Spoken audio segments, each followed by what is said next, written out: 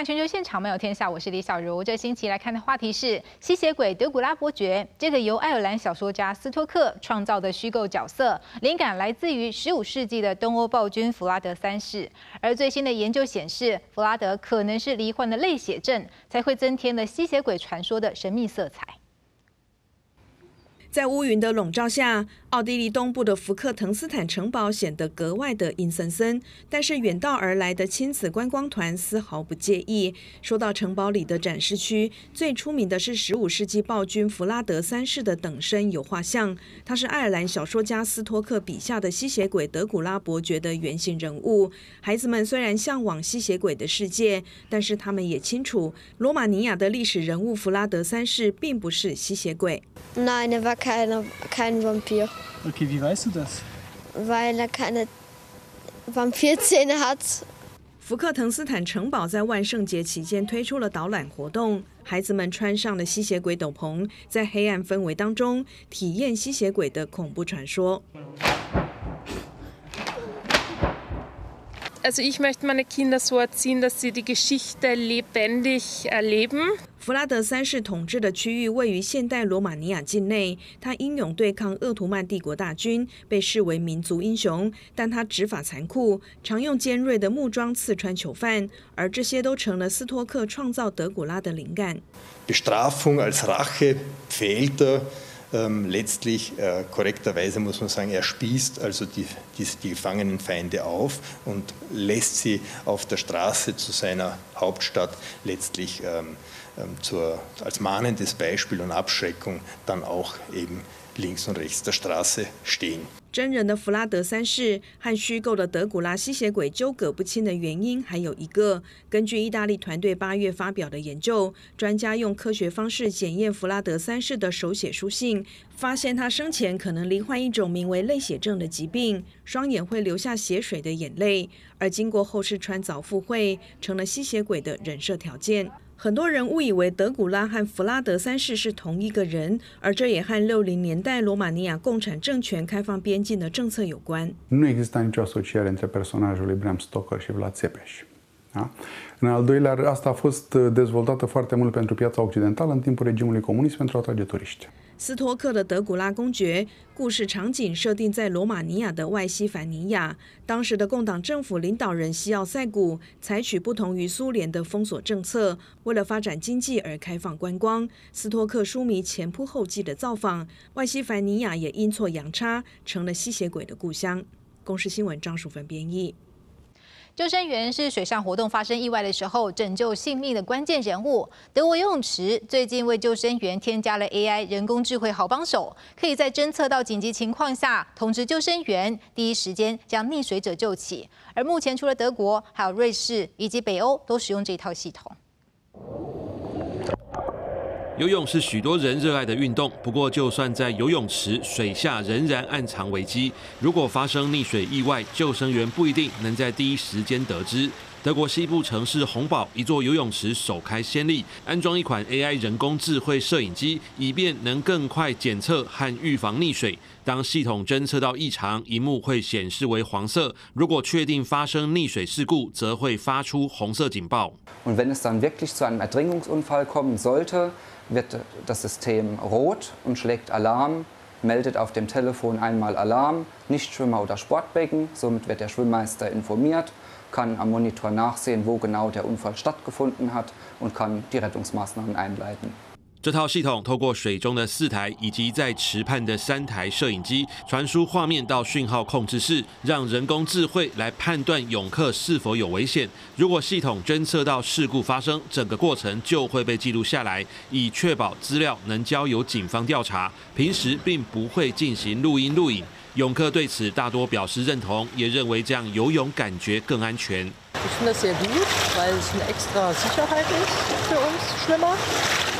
Schwimmerinnen und ja, unser Bademeister und Bademeisterinnen haben machen den Job super, aber das soll es nochmal extra. 业者表示，自从系统上线以来，只发生过一次误报。救生员则认为，AI 系统能协助他们注意游泳池的各个角落。 Ich halte da diese Erfindung nicht äh, für eine Konkurrenz, als Konkurrenz, sondern als Unterstützung für uns. Äh, Swim Eye ist ein Auge unter dem Wasser, neben unserer Auge über dem Wasser. Und das ist eine zusätzliche Sicherheit und Unterstützung für uns. 这个名叫“游泳眼”的系统，今年五月在德国的泳池安装测试，九月首度上线运作。目前这套系统除了德国之外，还有在瑞士以及斯堪的纳维亚半岛上的国家使用。公司新闻这位人编译。巴西的德森加诺国家公园位处于高山峻岭之中，远离城市的光害。二零二一年还获得了国际暗空协会的认证，成为拉丁美洲首座暗空公园，也是热门的观星地点。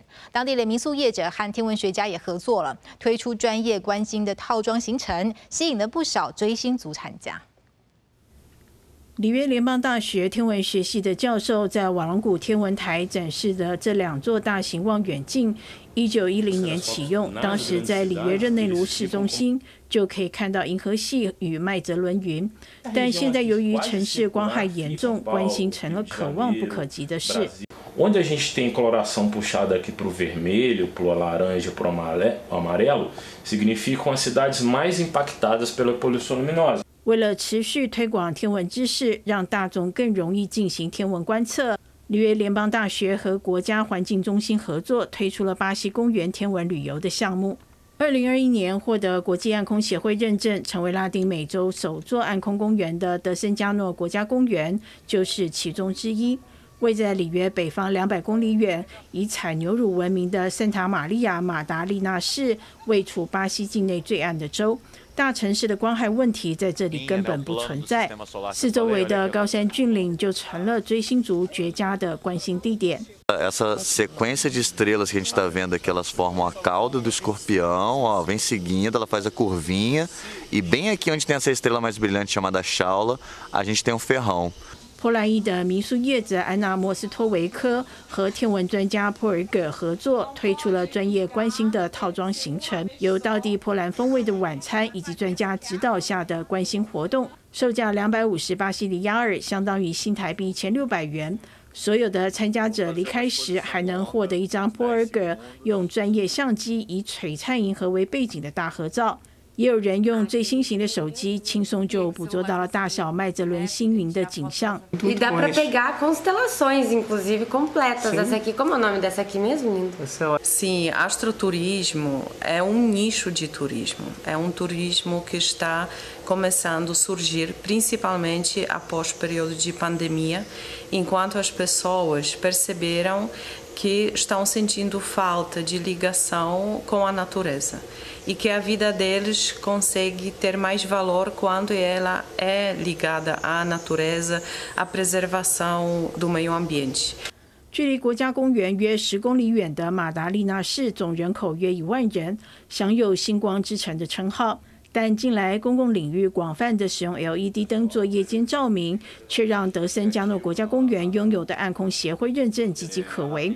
为此，普尔格也向市议会陈情，要求把夜间照明用的灯具光源必须朝下地面，以保留这一大片抬头仰望就能看见的浩瀚星空。公司新闻王慧文编译。韦伯太空望远镜陆续回传了宇宙深处的高解析星体照片，让人叹为观止。同时，也帮助了科学家去揭开更多宇宙的奥秘。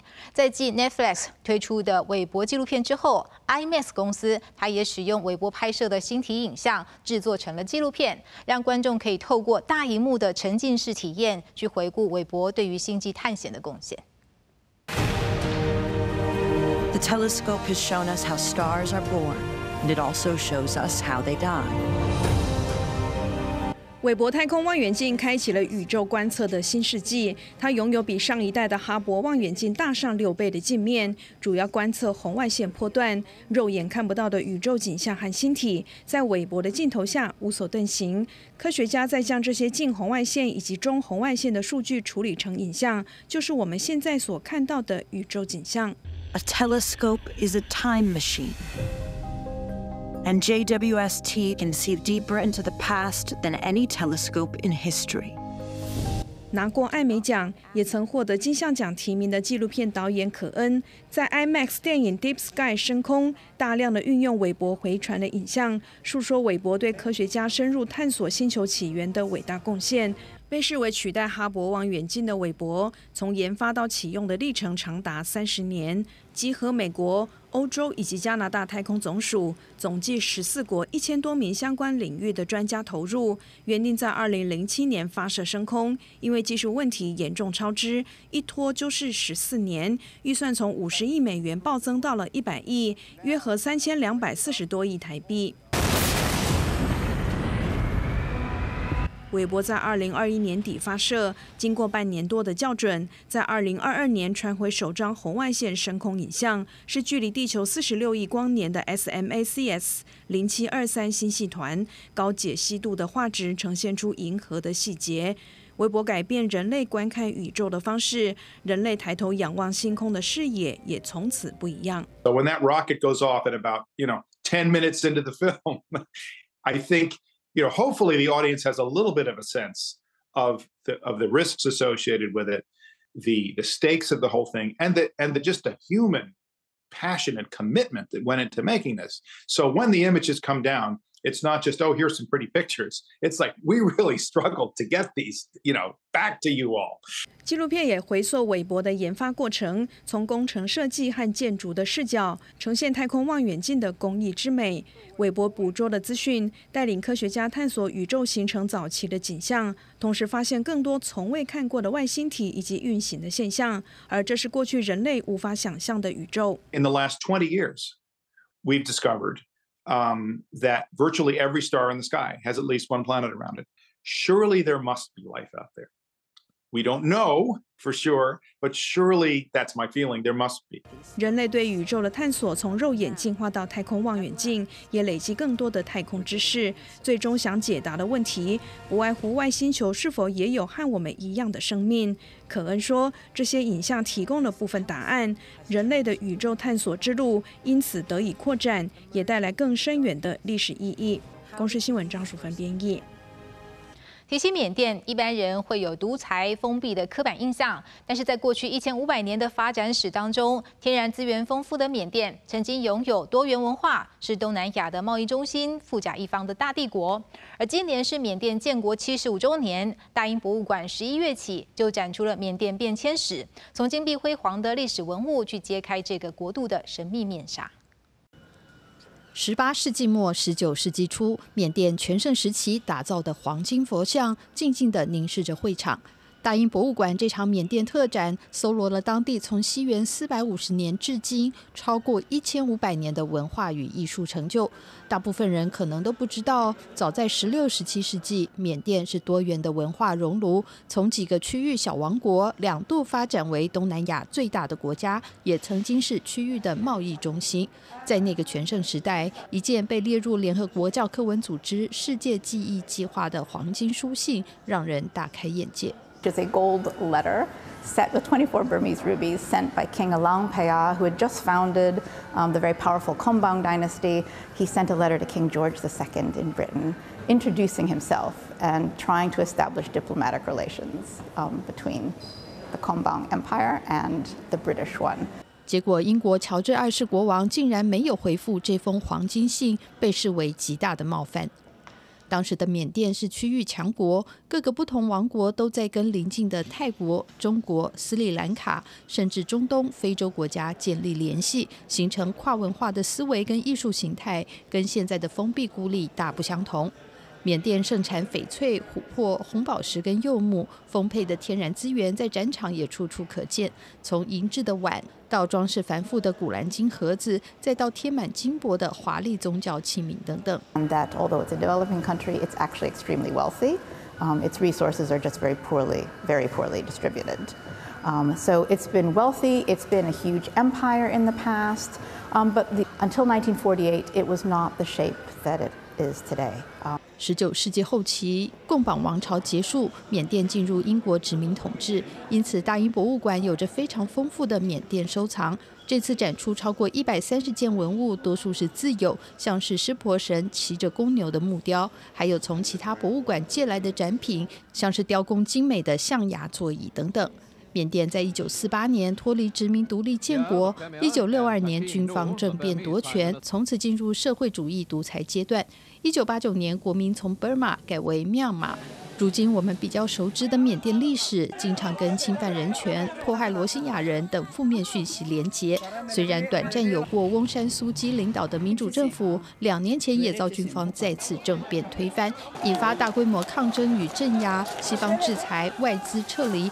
经济再次崩盘，大英博物馆这场从 Burma 到 Myanmar 的特展，希望展现缅甸被遗忘的灿烂过去，重现历史全貌。展期从十一月二号到明年二月为止。公日新闻是会总编译。在广播逐渐式微的时代，菲律宾最老的电台仍然在播送广播剧，精彩的剧情吸引了资深的听众，至今仍然死忠追剧，也是许多长者的休闲娱乐。此外，菲律宾人他们还很喜欢唱歌。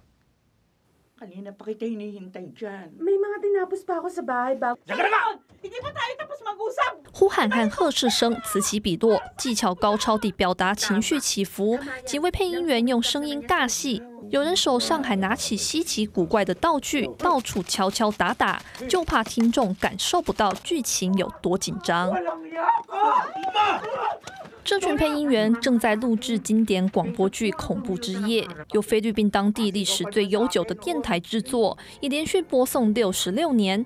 如同许多国家，战后广播剧成为菲律宾家庭的主要娱乐。尽管随着电视、网络平台等媒介出现，听广播的人口逐渐下滑，至今仍有老粉准时打开收音机追剧。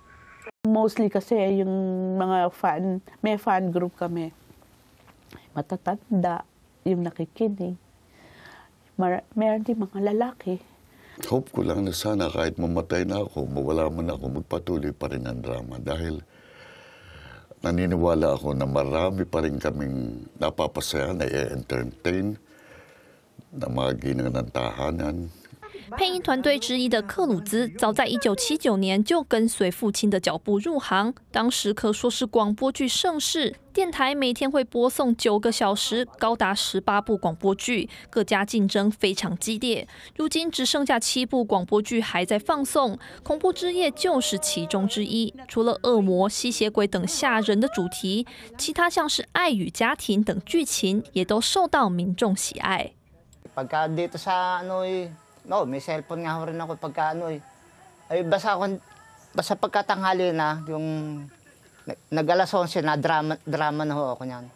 Wala eh, wala kang ano eh, na nung araw pa kasi nasubaybayan namin ng ano eh, yung drama yan eh. 除了广播剧，卡拉 OK 也是一项广受菲律宾人欢迎的娱乐。路边随处出现的点歌机前，可以看到民众忙里偷闲，趁着短短的休息时间唱唱歌，疏解工作压力。Di naman po talaga ako singer. Parang ano lang pag mag, wala kaming ginagawa. Whether they go swimming, whether they go, they're just in the party, in the backyard, or in the garden, they always have karaoke. 自从1980年代兴起卡拉 OK，越来越多菲律宾人会在家里准备一台卡拉 OK 机，于耶诞节和新年假期与亲朋好友狂欢唱歌。有厂商就说，在销售旺季，平均一天就能卖出十台卡拉 OK 机。Almost a lot of Filipinos love singing. That is our uh, what we call maybe a culture. We are born. We have we got a party. If you have a birthday party, all all of party. So we love singing. We have to we, we provide karaoke machine. 除了都会区看得到投币式卡拉 OK 机，贫困地区则有卡拉 OK 聚会所，男女老少都会来此打发时间。有音乐专家就表示，菲律宾的唱歌文化根植于西班牙和美国殖民历史，对菲律宾来说，唱歌带来的欢笑是最划得来的日常娱乐。公司新闻两页编译。感谢您这个星期的收看，下个星期同一时间，全球现场漫游天下，我是李小茹，我们下周再会。